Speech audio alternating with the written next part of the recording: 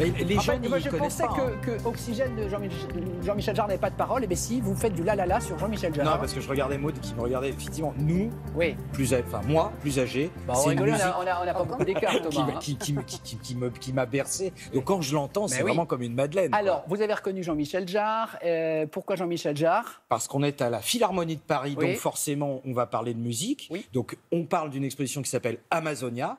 Amazonia, c'est d'abord le travail de Sebastião Salgado. Sebastião Salgado, c'est un photographe Ouais. qui a la double nationalité. Donc, il- et il est à la fois euh, brésilien et il est à la fois français. Et en fait, c'est un photographe un peu particulier, c'est-à-dire qu'il est un petit peu à sa manière. euh, aussi euh, ethnologue. C'est-à-dire que pour faire ces photos, c'est pas juste je viens, tac, je prends les photos, je repars. C'est des années, c'est plus de sept ans de périple là-bas, dans lesquels il va rencontrer les Indiens euh, qui sont complètement coupés de la civilisation parce qu'en fait il faut 7 à 10 jours en bateau etc pour y aller. Et donc quand il arrive il dit bah, c'est une rencontre. C'est-à-dire qu'effectivement ils sont quand même au courant etc et tout mais pas tant que ça. Ils sont complètement immersion, en fait. coupés alors c'est une immersion. Et puis surtout ce qui l'embête lui au plus haut point et c'est ce qui euh, ressort de son travail c'est qu'avec la déforestation ce sont ces peuples là qui disparaissent Bah oui. complètement c'est-à-dire qu'il n'y a pas que l'écosystème, parce qu'on pense souvent euh, au CO2. hein. C'est vrai que l'Amazonie, c'est le poumon. Oui, mais il y a aussi quand même des Ah êtres oui. humains Qui vivent. qui habitent Ah oui. euh, en Amazonie. Et avec le Covid et avec Bolsonaro, ça s'est complètement accéléré. Ouais. C'est-à-dire que ce, qui était déjà un problème l'est encore plus. Hmm. Donc là, le boulot de Sebastião Salgado, c'est de dire, moi, je témoigne de cette rencontre avec des autochtones, en faisant des photos qui sont joyeuses, des photos qui sont lumineuses, des photos qui sont belles. Donc on pourrait penser que tout va pour le mieux dans le meilleur des mondes. Non, pas du tout. Et on a demandé à Jean-Michel Jarre de composer des musiques qu'on entend en visitant cette expo. Exactement. Voilà. Et alors attention, c'est plus que des musiques. Vous allez voir, c'est un petit peu spécial le travail de Jean-Michel Jarre. Allez, on vous suit. Ce matin, nous sommes devant la Philharmonie de Paris pour une rencontre entre Sebastião Salgado, le photographe, et Jean-Michel Jarre, le compositeur. Une rencontre au sommet des arbres de l'Amazonie.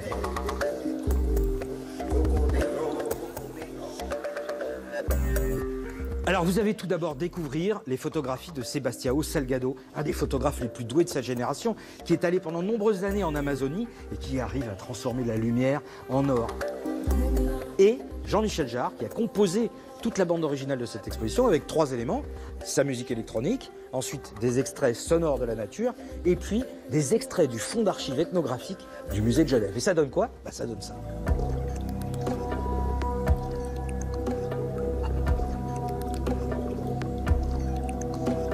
Dans cette exposition, vous allez découvrir plusieurs tribus amazoniennes. Ici, ce sont des Indiens Yawanawa. Problème, en 1970, il n'y en avait plus que 120. Pourquoi? Bah Parce qu'ils avaient oublié leur culture. Donc, en 1990, il y a un chef de tribu qui a décidé de virer les missionnaires, de virer en fait toutes les références occidentales et de se réapproprier sa culture.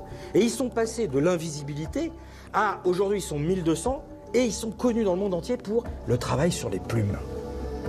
Effectivement, quand on voit ça, on se dit, c'est sacrément solaire.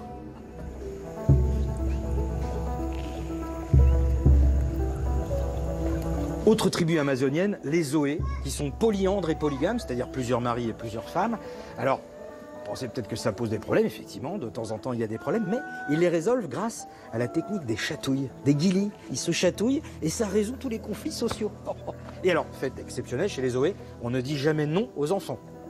Moi, je pense que je suis peut-être né un peu chez les Zoé.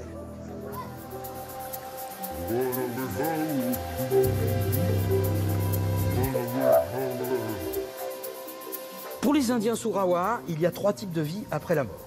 La première, lorsque vous mourrez en pleine santé, là vous allez avoir une super vie après la mort. La deuxième, si vous mourrez d'une blessure accidentelle, par exemple une morsure de serpent, vous allez avoir une vie intermédiaire. Et la troisième, c'est la pire, si vous mourrez de vieillesse, alors là, vous allez avoir une très mauvaise vie après la mort. Du coup, il y a un certain nombre de Surawa entre 14 et 28 ans qui décident d'ingérer la racine de Timbu, qui est un poison mortel, tout simplement pour aller, pense-t-il, au paradis des Surawa.